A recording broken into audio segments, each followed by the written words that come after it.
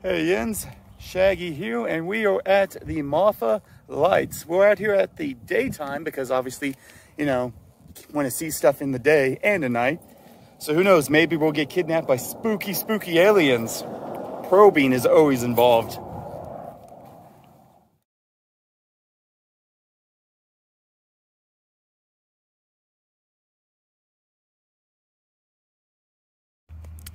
So this is the observation platform here. And the whole situation about this place is that off in the distance, woo, distance, there are actually all nighttime lights that a lot of people think, oh, aliens, swamp gas, weather balloons, yeah, name it. People think about it. But it's way out here in the distance. But this is the observation platform. And over here is where the interstate's at. So here is the plaque for it. Woo, spin the camera. Marfa mystery lights are visible on many clear nights between Marfa and Pasino Pass as one looks towards the Shintanta Mountains. I'm mispronouncing these horribly.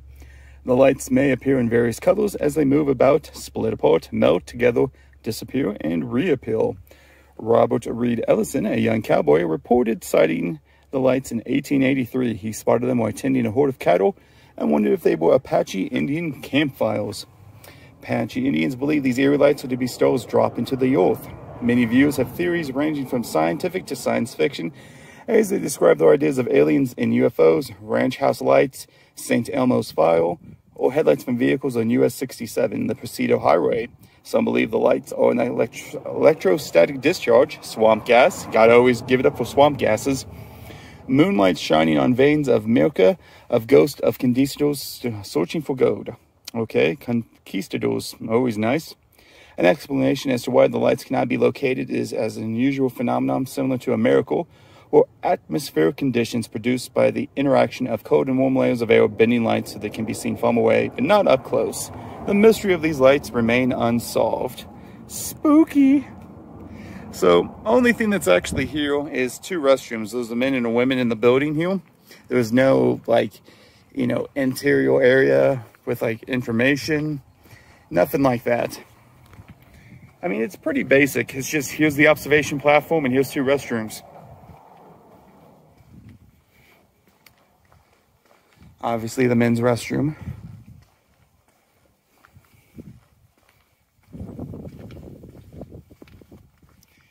And these plaques over here where they don't say anything, they just thank you.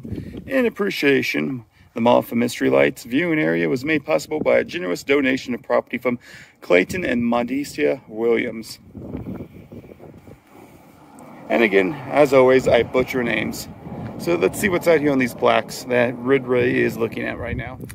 And here is on one of these things, just looking around, panning. There is Rid Ray off in the distance doing his thing. But yeah, like look at the scenery here. This is amazing. We'll probably get to try and come back out here at night so we can see the lights get abducted. try to stabilize this here a little bit, but I can see all the mountains out here in the distance. Let's do a little bit of a zoom in. Ooh, zoom. But uh, all those mountains out in the distance.